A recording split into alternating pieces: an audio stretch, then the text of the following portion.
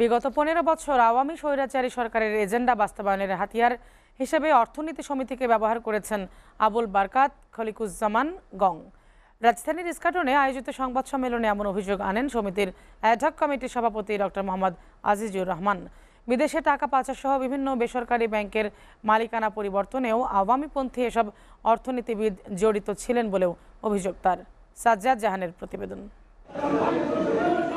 বিগত দুই দশকের বেশি সময় ধরে অর্থনীতি সমিতির নিয়ন্ত্রণ, আবুল বারকাত ও খালিকুজ্জামানের মতো পরিচিত আওয়ামীপন্থী অর্থনীতিদের হাতে হাসিনা সরকারের পতনের পর সমিতির সাধারণ সদস্যদের দাবির মুখে গঠিত হয় অ্যাডহক কমিটি শনিবার নতুন কমিটির সংবাদ সম্মেলনে বাধা দিতে এসে তোপের মুখে পড়ে আওয়ামী অর্থনীতিবিদদের পুরনো কমিটি। হট্টগোল থামাতে হস্তক্ষেপ করতে হয় সেনাবাহিনীকে। পরে সংবাদ সম্মেলনে অ্যাডক কমিটির সভাপতি অভিযোগ করেন, আওয়ামী লীগের স্বৈর শাসনের আমলে প্রতিষ্ঠানটিকে তাদের অঙ্গ সংগঠনে পরিণত করেছিল।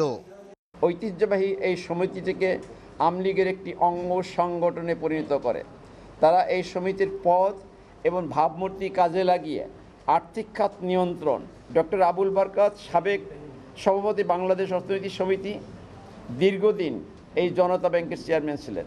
তিনি সজ্ঞানে হাজার হাজার কোটি টাকা খেলাপি ঋণ দিয়ে জনতা ব্যাংককে ধ্বংস করেছেন। আকাশ ছোঁয়া খেলাপি ঋণ বিদেশে টাকা পাচার ব্যাংক দখলের মতো কাজে আবুল বারকাত ও খালিকুজ্জামানদের প্রত্যক্ষ হস্তক্ষেপ ছিল বলে অভিযোগ করেন তিনি। দেশে পাচার হয়ে যাওয়া টাকা ফেরত আনা এরপরে অনেক আলা অনেক আলোচনা সমালোচনা হচ্ছে। আমরা এরপর একটি সেমিনার করে অতি দ্রুত পাচারকৃত টাকা ফেরত আনার পন্থা উদ্বোধন করব। খেলাপি ঋণ আদায়ের করার তৃতীয় চ্যালেঞ্জ অতীতের অভিজ্ঞতা থেকে দেখা গেছে খেলাপি ঋণ আদায়ের জন্য অনেক পদক্ষেপ এবং দৌড়ঝাঁপ করা হয়েছে।